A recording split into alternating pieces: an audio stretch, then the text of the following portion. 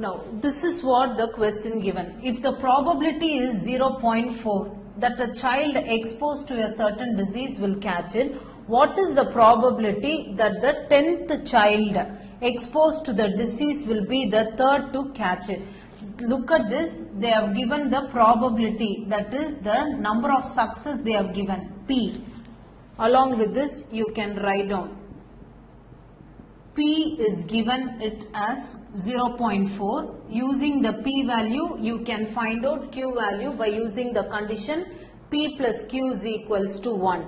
And they have asked what is the probability that the 10th child exposed to the disease will be the third to catch it. And they have even given the total number of trials. So, since the parameters that is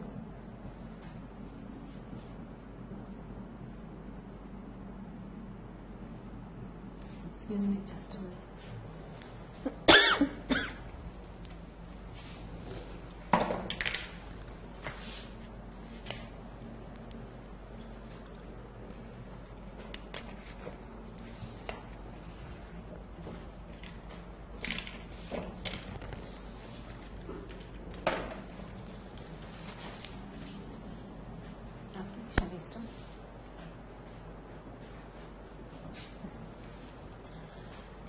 Now, using this question, I am going to teach you the how to find the negative binomial distribution. As I told you earlier, the parameters that is the number of success and the total number of trials, total number of trials are given. we need to apply the negative binomial distribution. What is the negative binomial, distribution? The negative binomial distribution is P of x is equals to x plus k minus 1 c k minus 1 p par k into q par x. This is the formula to find the negative binomial distribution. So what all we are supposed to find out now? We need to find out P of P par K, Q par X.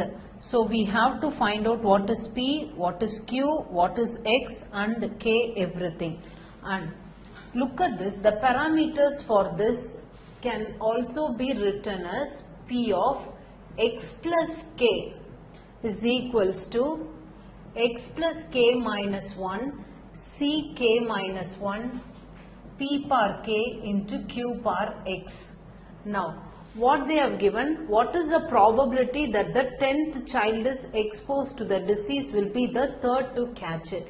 Now, so because of this, x plus k is equals to 10. That is the total number of trials. And what is k? The number of success number of success that is k is equals to 3 and the total number of trials total number of trials that is x plus k is equals to 10 they have given. Using this we need to find out what is x value k is given.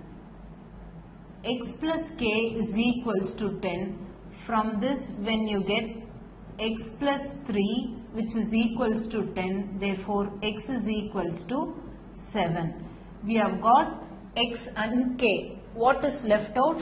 Given in the question p is equals to 0.4 so what is q? 1 minus p which is nothing but 1 minus 0.4 which is equals to 0.6 Therefore, the probability, now we can substitute everything in the question, that is in the answer. The probability of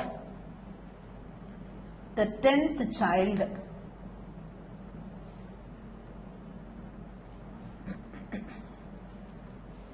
the 10th child exposed to the disease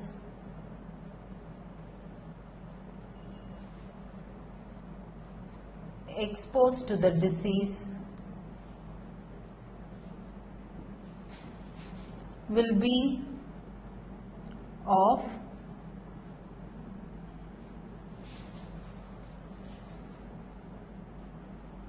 P of that is which is equals to directly you can substitute what is x x is 7 7 plus k that is 3 minus 1 c k minus 1 that is 3 minus 1 p power k 0.4 power k cube 0.6 the whole power x.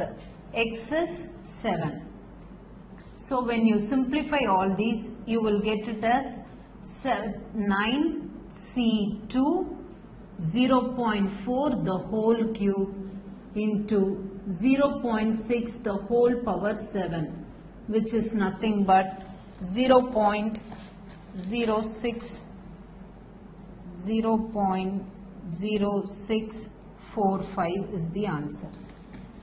So this is how you need to do it. All the information, all the details is completely provided in the question. You need to just find out and how to substitute in the probability of the negative binomial distribution. This is quite often asked for 10 mark questions.